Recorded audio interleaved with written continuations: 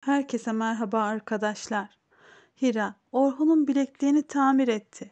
Orhun görünce hem çok beğendi hem de çok mutlu oldu. Aslı sahte bir doktor bulacak ve Hira'yı Orhun'dan uzaklaştırmak isteyecek. Aslı'nın Hira'nın geçmişi hatırlamayı istemesini sağlamak için Ali'yi kullanacağını ve sahte bir doktor bulacağını neredeyse haftalar önce sizlere söylemiştim. Hira Aslı'nın tuzağına düşmemeli. Orhun Aslı'nın planını hemen anlamalı ve Aslı kendi kazdığı kuyuya düşmeli. Benim gibi düşünenler videoyu beğeni butonuna bassın lütfen. Hira Orhun'a elektroşok tedavisini almak istediğini söyledi. Aslı şok tedavisini yapacak iyi bir klinik bulduğundan bahsetti.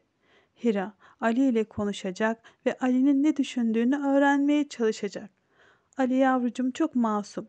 Ali'nin tek isteği Hira'nın bir an önce iyileşmesi. Hira Ali için çok tehlikeli olan bu tedaviyi görmek isteyecek. Orhun Hira'nın canının yanmasını asla kabul etmez ve istemeyecek bu tedaviyi.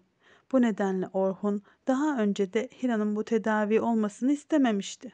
Bu olayın olacağını sizlere gerçekten çok uzun zaman önce söylemiştim. Aslında bu olaylar canımızı sıkacak ama bu olaylar sayesinde Aslı konaktan sonsuza kadar gitmek zorunda kalacak. Sizler de düşüncelerinizi bizimle paylaşmayı unutmayın lütfen.